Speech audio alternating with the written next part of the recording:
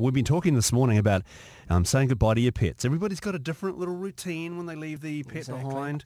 Um, I don't know if, if um, I've never really said goodbye to the cat, but um, the dog always just has this terrible look on his face when he knows we're going to leave the house. So have a bit of a conversation with him. We've got an expert on the phone right now, Darren the Dog Man from Mindfulness for Dogs.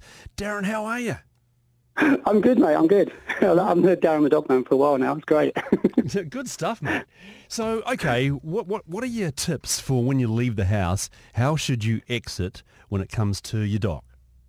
Yeah, well, one of the one of the things to think about is dogs are creatures of habit. Okay, so so if we change the way that we normally act when they're calm, um, then they start to think there's something wrong. So so when we normally just leave the house um, just to go to the shop or something, we probably just walk out, not really care about it, do we? And the dogs just sort of sit down and, and calm down. But but when we go to work, we go, oh, that's a good boy, and give him a big cuddle and a kiss.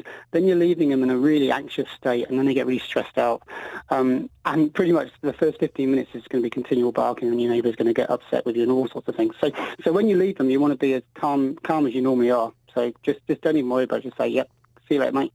Um, we always uh, we always joke. Um, we used to be teachers. Me and my wife used to be teachers many years ago, and um, we always say to the dogs, school time. Right, as we leave. And that's quite a good trigger. So having a key word or an object that you place somewhere tells the dogs that you're leaving and it's all okay. So that's, that's one of the key things is having that, that key word. I don't know what guy, what you guys do. So, what would you? Well, I'm, I'm my keyword is um, I'll see you later, Fred. I'll be back home at four thirty.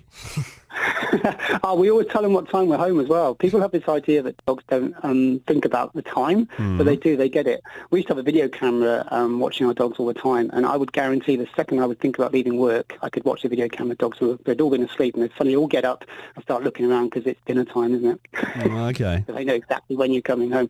Yeah, but the most important thing, just keep it nice and relaxed, nice and cool. Don't get overexcited because if you if you leave when they're overexcited, then what's happening is you're getting them quite anxious because suddenly they're you've left them in a really excited state, and then there's nowhere to no nowhere for that to come out. You're Yeah. gone, so they're going to try and find you. They're Hey. they might try and escape or all sorts of things. Yeah. Hey Darren, what do you think of um, the technique I employ at my house with uh, the dog Poncho? And it's just it's just a one word, and it's every morning. It's behave, and then you're out. Behave. Behave. Does it, does it work? Oh, he, sometimes, sometimes I get back and he, he's sort of on my bed where he's not allowed to be, and he looks over at me with those puppy dog eyes, and you're like, oh, Poncho. So he's got you quite well trained then. He does. He does. Definitely. Hey, the other thing you could do um, with Poncho then is, have you seen those sort of um, those toys that you can fill with treats? Yes. They're called Kongs, yeah. So maybe get one of those, and rather associating with a, a kind of idea that he doesn't really understand, behave is kind of out there, isn't it? Yeah. Give him that toy and, and say the word behave as you throw him a toy, and then associate chewing and having fun with that toy with the word behave, and that might give him a real, you know, something to latch onto, you know, because the word behave doesn't really mean a lot to No. a dog. Could No. mean lots of things, can it really? But that would be very specific, man. Probably doesn't mean a lot to you. chew. Probably doesn't mean a lot to you either, Jay. No, it's just no. I'm a bad boy. What can I say? Hey, Darren, it's lovely to talk to you, mate. If anyone wants to No find mate. out more about Darren the Dog Man, um, just get on mindfulnessfordogs.co.nz. Nice to talk to you, Darren. Thanks, mate. Appreciate it. Take care, mate. Thanks.